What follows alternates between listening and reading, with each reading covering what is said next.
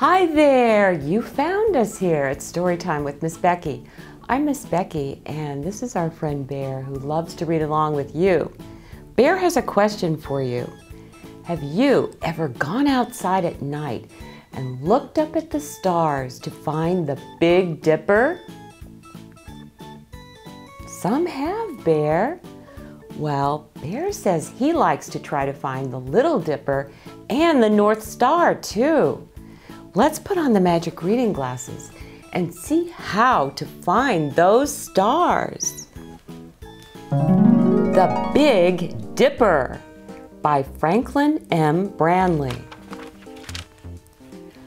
I like to go outside at night. Everything is still and dark. At night, I can see the stars. Some nights the stars are very bright. They look close too. It seems that I can almost touch them. I know I cannot. They are too far away. My father and I look at the stars. We look at them in summer and in winter. They are not always the same. In summer, these are some of the stars I see. In winter, I see these stars. But there are some stars that I can see both in summer and in winter. I can see the Big Dipper almost every night if the sky is clear. Long ago, people drank water from dippers. The dipper in the sky looks like a water dipper. It has a bent handle and it has a bowl. There are three stars in the handle of the dipper. There are four stars in the bowl. I use a compass to help me find the dipper. A compass points to the north. I hold a compass in my hand, then I look in the direction that the compass needle points. I can see the Big Dipper in summer and in winter. On summer nights, the Big Dipper looks like this. On winter nights, it looks like this. On fall nights, the dipper looks like this. It is low in the sky. Sometimes it is so low, you may be able to see only part of it. These are the names of the seven stars in the Big Dipper. The two stars at the end of the bowl are called the pointer stars. They point to Polaris, the North Star. When you look at the Big Dipper in the sky, imagine a dotted line going from one star at the end of the bowl to the other one. Imagine that the dotted line goes all the way to the North Star.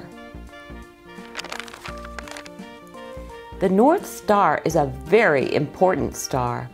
Sailors and other travelers use it to help them find their way. When they sail toward it, they are going north. If they sail away from it, they are going south. To go west, the sailors keep the North Star to the right of them.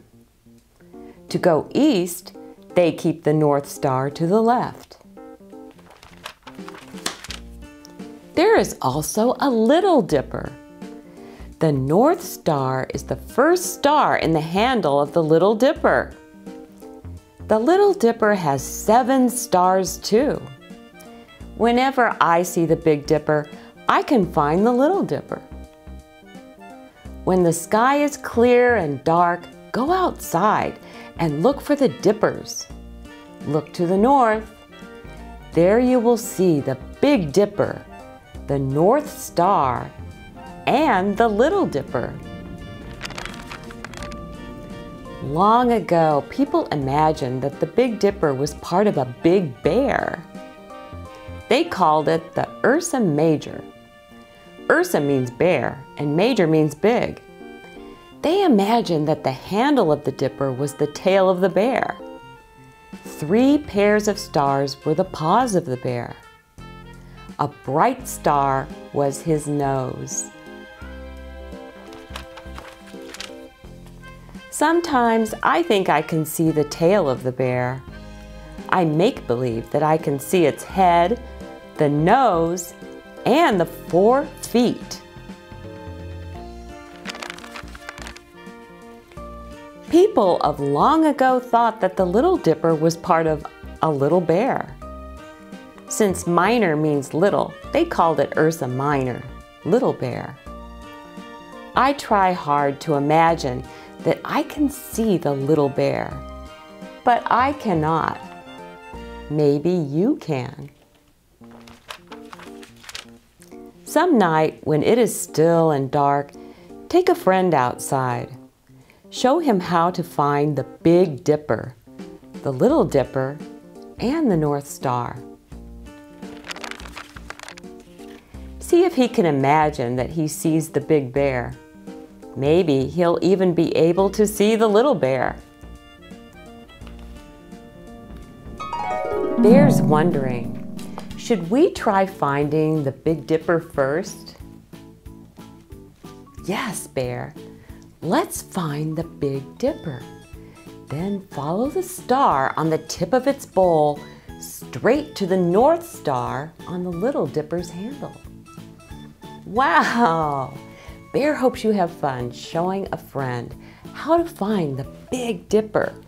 And he also hopes you come back soon for more adventures in discovering amazing things in the world. Bye for now. Please subscribe.